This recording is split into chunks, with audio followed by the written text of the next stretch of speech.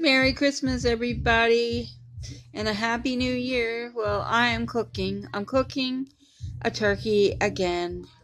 Well, we got a big one, so it's still cooking, and I've been basting it and stuff, so it won't be dry.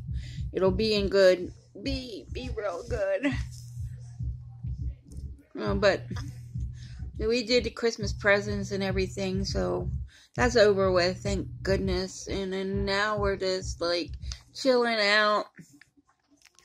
We got some new kitty cats in the house, and I still don't have these teeth pulled out, but I'm going to get them pretty soon.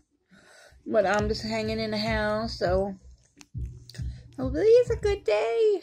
We got a ton of trash. Trash, trash, trash to go out to the dumpster. Yucky trash. Yeah, so just chilling in the house. I got my Christmas sweater on. Got my Christmas sweater on. It's Christmassy. Christmassy. Christmas sweater. Oops. Christmas sweater.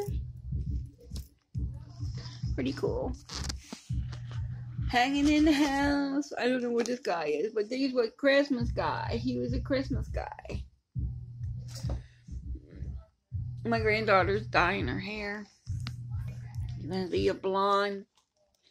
But I'm not dyeing my hair because my hair, I like my dark hair. Always have. Well, it might need a little bit of dye to make it darker or something. But I do have some gray in it. But okay. I hope everybody's having a really good Christmas. And, and if you don't celebrate Christmas, I just hope you're just having a really good day and you're happy and stuff and things are going your way. We're gonna have hot chocolate, hot chocolate, hot chocolate, hot chocolate. And um you know, shout out there to my cousin Jennifer. Merry Christmas, Jennifer. I hope you're having a really good day. You probably are.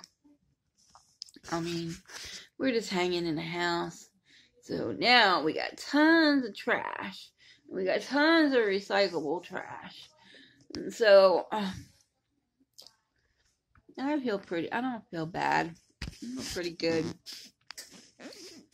So I'm gonna work, start working on some of my art. Hopefully, we can start working on some of my art stuff again.